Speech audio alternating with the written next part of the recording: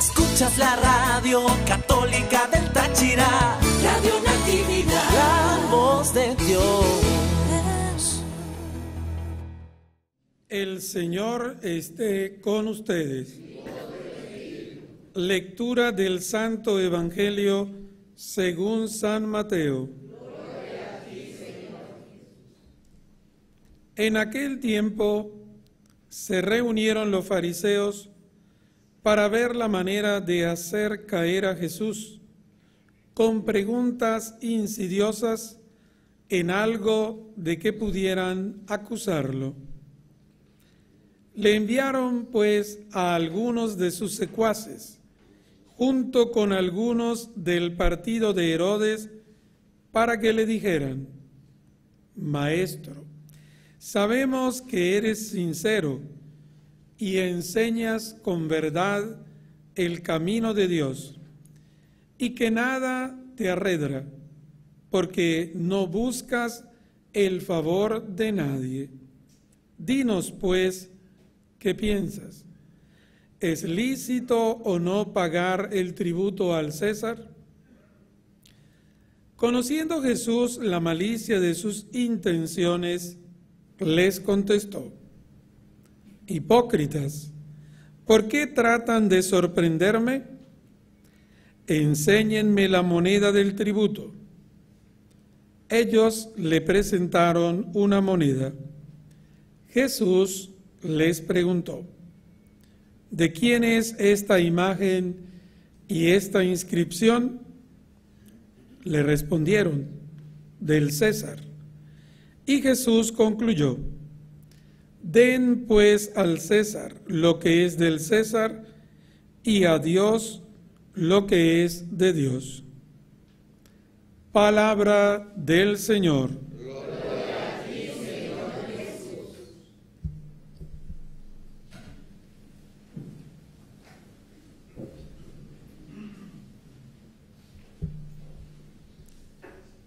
Queridos hermanos, Quisiera recordar al inicio de esta homilía hoy unas palabras que hemos escuchado repetidas veces de labios de nuestro pastor diocesano, Monseñor Mario del Valle Moronta Rodríguez, quien dice que una de las grandes riquezas de nuestro pueblo es precisamente la fe de su gente.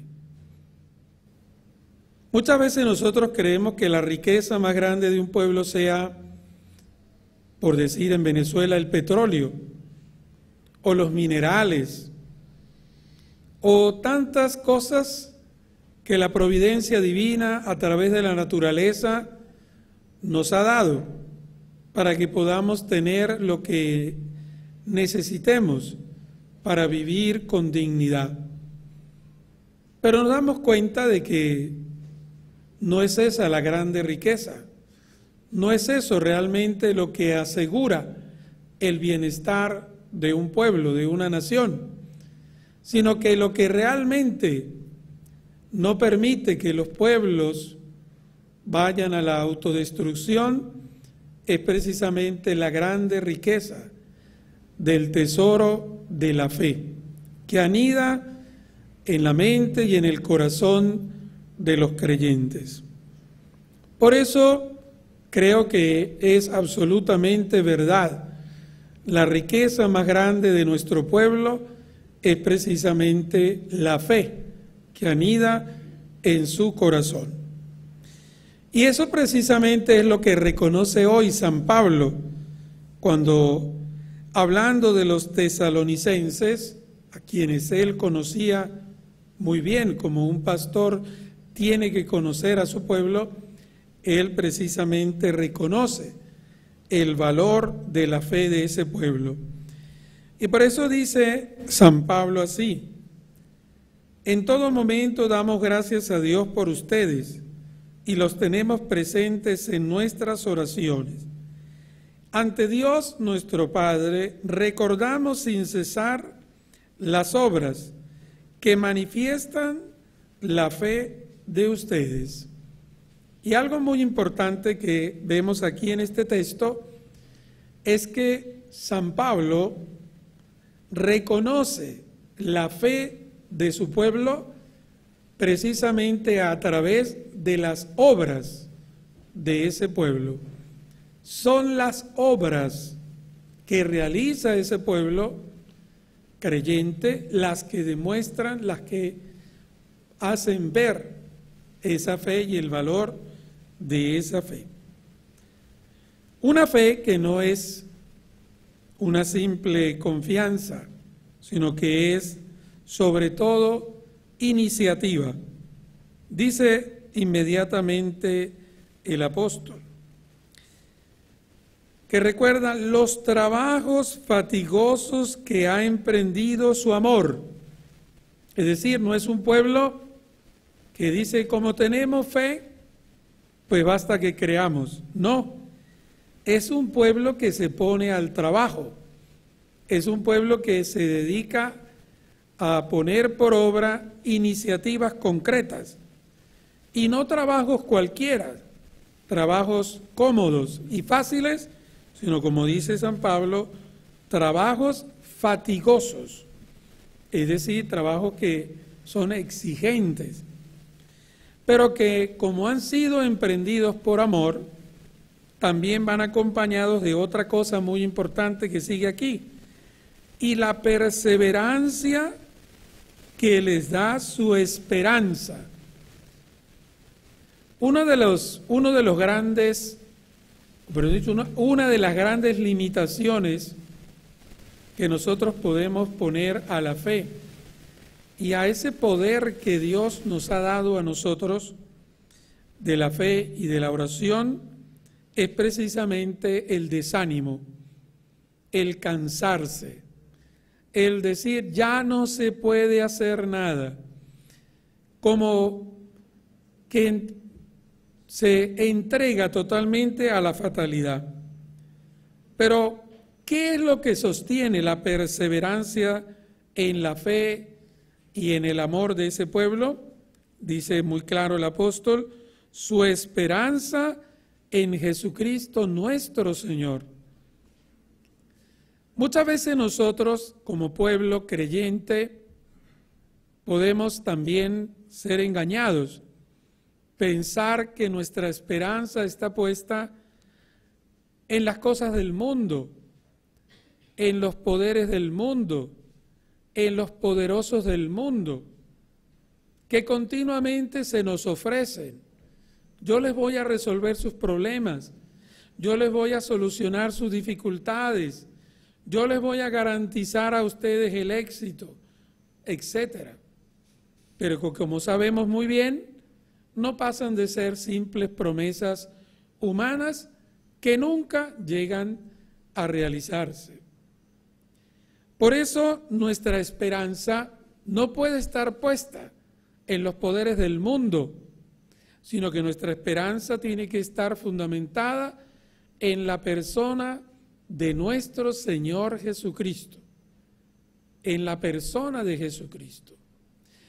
A veces nosotros dejamos de confiar en Dios, a veces para confiar en nosotros mismos. Pensamos que nosotros podemos todo, que somos omnipotentes, o nos confiamos de otros como nosotros, y entonces se cumple aquello que dice la Sagrada Escritura, maldito el hombre que se pone toda su confianza en el hombre, porque el hombre puede cambiar y puede engañarnos, en cambio estamos llamados a poner nuestra confianza solo en el Señor, solo en Dios. Y por eso toda la palabra de Dios hoy es una invitación precisamente a poner toda nuestra confianza en Dios, a abandonarnos en el poder de Dios. Pero esa confianza y ese abandono en el poder de Dios no puede ser como a veces nosotros tenemos la tentación, una confianza cómoda. Bueno, que Dios se encargue de resolverme la situación, que Dios se encargue de resolverme el problema, que Dios me solucione esta dificultad, sino que como vio el apóstol en aquellos de Tesalónica, ¿verdad? Esta gente, movida de la fe y sostenida de la esperanza, comenzó a trabajar, comenzó a desarrollar iniciativas, comenzó a ser creativa, una gente capaz de poner al servicio del plan de Dios su ingenio, su creatividad y también la fuerza de su voluntad. Por eso, queridos hermanos, nosotros tenemos que unir al poder de Dios también esas capacidades que Él ha puesto en nosotros, desarrollar al máximo nuestra creatividad y sostenernos con la esperanza en Jesucristo, para que no nos dejamos, dejemos llevar por el desánimo, sino que todo lo contrario, el Señor sostenga nuestra perseverancia. Perseverar perseverar en la fe, perseverar en el amor. Un pueblo que cree, un pueblo que pone su esperanza en el poder de Dios, es un pueblo que también se hace protagonista de su presente y de su futuro. Por eso, queridos hermanos, esta palabra de Dios nos habla a nosotros como personas individuales nos habla también como comunidad creyente, es decir, como miembros de la iglesia, pero también nos habla como miembros de una sociedad que no puede estar esperando que otros vengan a resolverle sus problemas, que no puede huir de los problemas y de las dificultades, sino que tiene que aprender a enfrentar todos estos grandes retos que la vida y que la historia y que las circunstancias de cada momento nos presentan, para que asumiendo esos retos con valentía y con confianza en Dios, con creatividad, con iniciativa, pero al mismo tiempo con perseverancia y confianza en el poder de Dios, podamos encontrar también nosotros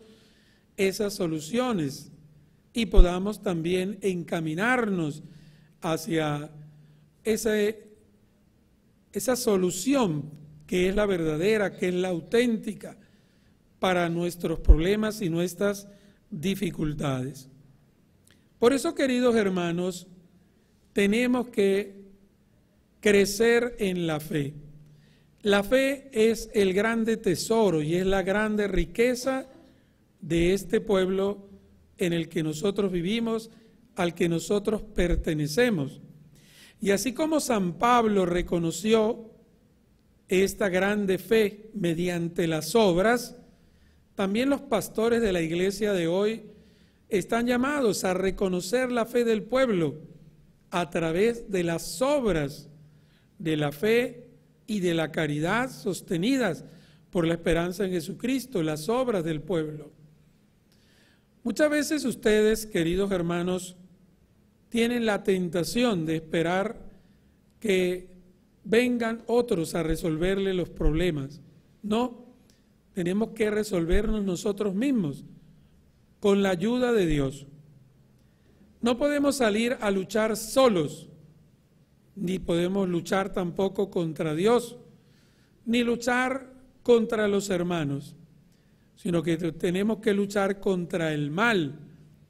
Por eso San Pablo dirá, que, nuestro, que nuestra lucha a veces no es contra esos poderes evidentes, sino contra aquellos poderes ocultos que luchan contra Dios y contra los hijos de Dios, contra los que son los discípulos de Jesús, esos poderes del mal que muchas veces se siembran en la mente y en el corazón de algunas personas y que lamentablemente las llevan a hacerse daño y a hacerle daño también a los demás.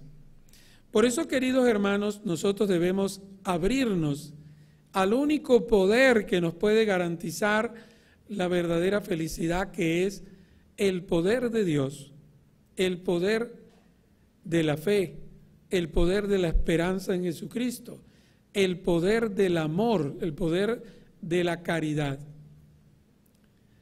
También hoy encontramos otra enseñanza que está también conectada con esto, y es lo que nos dice Jesús en el Evangelio. Encontramos aquí en esta escena, en primer lugar, un grupo de personas que están muy bien descritas, ¿no? Dice que son unas personas que tienen dobles intenciones.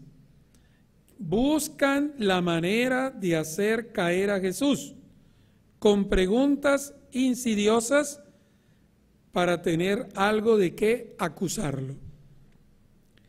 Pero ellos no enfrentan la situación directamente, sino que mandan a sus secuaces para que vayan ellos y le pregunten a Jesús.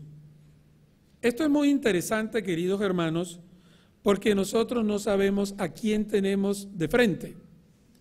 Nosotros muchas veces no sabemos si el verdadero enemigo ¿Es ese que tenemos delante o es quien está detrás de esa persona que tenemos delante? Por eso San Pablo también nos exhorta a discernir para descubrir realmente de dónde vienen las malas intenciones.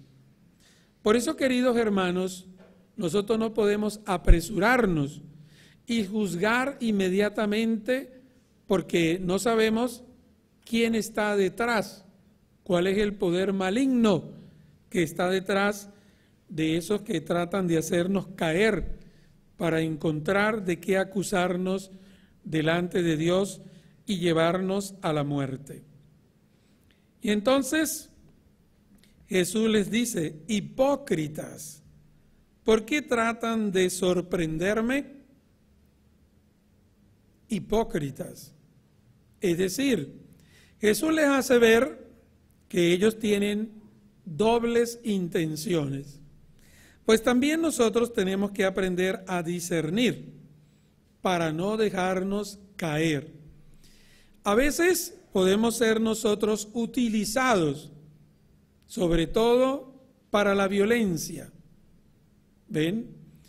Estos que fueron enviados fueron utilizados para generar una situación de violencia, para después culpar a otros de la muerte de Jesús. Fíjense ustedes toda la maldad que hay en el fondo y cómo se esconde esa maldad, cómo los que piensan, los que programan, los que diseñan la maldad no son los que aparecen a primera vista, sino están escondidos detrás. Pues queridos hermanos, por eso nosotros tenemos que pedirle al Espíritu Santo que nos ilumine, que nos haga ver, que nos haga entender. Es el Espíritu Santo quien nos ilumina para que nosotros podamos hacer un discernimiento y en ese discernimiento darnos cuenta cuáles son las verdaderas intenciones de quienes a lo mejor nos ponen a prueba, pero sobre todo descubrir qué es lo que Dios quiere de nosotros. Cuando los obispos venezolanos nos invitaron a reflexionar sobre la situación de nuestro país, nos propusieron una primera pregunta. Y yo creo que muchos de ustedes en las asambleas parroquiales que, en las que participaron pudieron observar que la primera pregunta es, ¿Qué nos está pidiendo Dios en esta situación? ¿Qué es lo que nos está pidiendo Dios en este momento? Por eso esa es la primera pregunta que tenemos que hacernos. ¿Qué es lo que Dios quiere de mí? ¿Qué es lo que Dios se espera de mí en este momento de crisis? Crisis económica, crisis social, crisis política, de todos los tipos que podamos vivir. y que será también una crisis de fe, porque crisis significa prueba, poner a la prueba. Y en este momento lo que más se pone a la prueba es nuestra fe. ¿Cuál es nuestra respuesta como hombres y mujeres de fe a los retos que nos está poniendo esta situación del mundo y de nuestra sociedad, de nuestro país? ¿Cuál es la respuesta que yo como hombre o como mujer de fe estoy llamado a dar? ¿Y cuáles son esas obras concretas que van a manifestar? Por eso seguía otra pregunta muy importante. ¿Y qué es lo que nosotros tenemos que hacer? ¿Qué es lo que vamos a hacer? ¿Qué es lo que Dios nos está pidiendo? ¿Y qué es lo que nosotros vamos a hacer para responder a ese reto que Dios nos ha puesto? Por eso, queridos hermanos, nosotros que escuchamos tantos análisis sociológicos, políticos, filosóficos, culturales y de todo tipo, tenemos que sobre todo hacer un análisis desde la fe para preguntarle a Dios, Señor, ¿qué es lo que tú quieres de mí? ¿Qué es lo que tú esperas de mí? Y para poder dar esas respuestas concretas. No basta con hablar, sino sobre todo esas respuestas que, se, que son sobre todo acciones concretas, que demuestran la fe y que sostienen la esperanza. Por eso, queridos hermanos, nosotros tenemos que abrir nuestra mente y nuestro corazón al Señor para que Él nos ilumine y nos haga ver con claridad. Pero también tenemos que pedirle al Señor que nos dé su fuerza, la fuerza de su gracia, para que no nos para que no decaigamos, para que no nos desanimemos, sino para que nos sintamos sostenidos por su gracia en la lucha y en el logro de las grandes metas que la fe en Dios nos propone y que las situaciones reales de la vida nos ponen.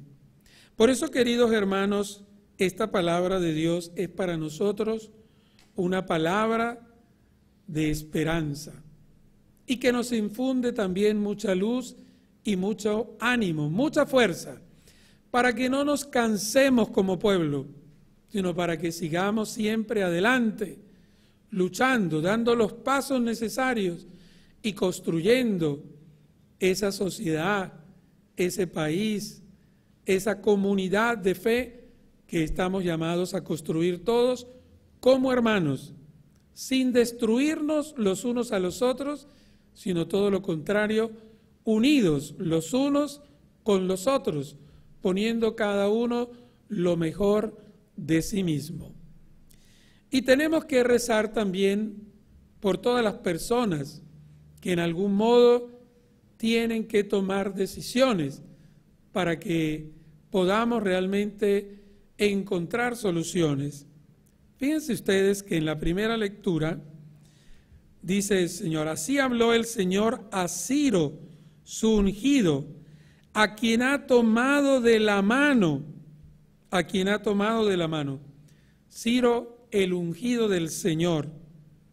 Pero así como otros que fueron ungidos también del Señor y puestos por el Señor al frente de su pueblo, se soltaron de la mano del Señor y habiéndose soltado de la mano del Señor, terminaron haciendo lo que no quería Dios y trayendo tantas desgracias sobre el pueblo. Por eso nosotros tenemos que pedir siempre. San Pablo nos dice, tienen que rezar siempre por quienes los gobiernan, para que sean eso, ungidos del Señor, para que vayan siempre agarrados de la mano de Dios y para que si se han soltado de la mano de Dios, se dejen otra vez agarrar de la mano de Dios y agarraditos de la mano de Dios puedan también ellos descubrir qué es lo que quiere Dios y qué es lo que Dios espera de ellos y tengan también la luz y la fuerza para realizarlo. Por eso, queridos hermanos, el poder no está en otra cosa que no sea en nuestra fe y en Dios nuestro Señor. Por eso tenemos que seguir creciendo en la fe y no permitir jamás que nuestra fe decaiga. El Señor le dijo a Pedro, yo he rezado por ti para que tu fe no desfallezca. Cuando nosotros no encontramos soluciones inmediatas a los problemas y vemos como que los problemas se dilatan y se alargan y como que se vuelven eh, interminables y como que no vislumbramos en el horizonte ninguna solución, tenemos que pedirle al Señor que Él también nos sostenga con su oración ante el Padre, que así como Jesús oró por la fe de Pedro, para que esa fe de Pedro nunca decayera, también decirle, Señor, mira que estoy casi por decaer en mi fe. Señor, ora por mí, como oraste por Pedro, como oraste por la fe de Pedro, para que mi fe no decaiga para que yo no deje de luchar, para que yo siga caminando siempre hacia adelante hasta alcanzar aquello que Dios quiere que yo alcance con su gracia, con su poder. Por eso, queridos hermanos, a veces cuando nos sentimos decaídos en la fe, invoquemos al Señor. Señor, reza por mí. Señor, intercede por mí, por mi fe, como intercediste por la fe de Pedro para que mi fe no venga a menos. Y por eso el pueblo entero tiene que pedirle al Señor, Señor Jesús, intercede por nosotros ante el Padre, para que esta fe, la fe de nuestro pueblo, nunca decaiga, sino se mantenga siempre como una luz encendida que nos ilumine el camino y nos haga llegar hasta la meta.